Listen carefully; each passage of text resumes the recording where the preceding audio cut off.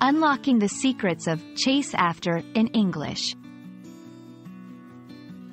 Hello, language enthusiasts. Today's journey is about unraveling the essence of the phrase, chase after. It's a common expression in English that can add a dynamic touch to your conversations. So, let's dive into the world of verbs and phrases to master its use. Chase after is a phrasal verb, a combination of the verb chase and the preposition after. It means to follow someone or something quickly in order to catch them. The phrase often implies a sense of urgency and effort. In its most direct sense, chase after refers to running behind something with the intent to catch it, like in a physical pursuit. Picture a dog chasing after a ball or a policeman chasing after a thief.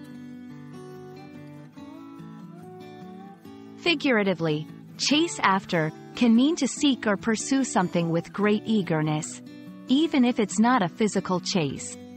For instance, one might chase after their dreams or chase after success.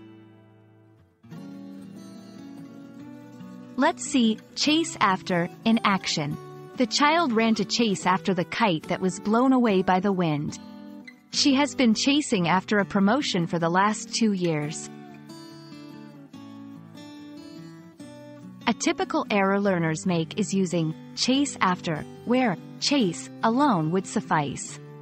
Remember, chase after emphasizes the action of pursuit more than chase alone.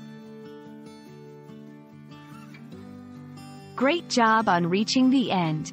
Remember, language learning is a marathon, not a sprint, so don't be afraid to chase after new expressions and phrases.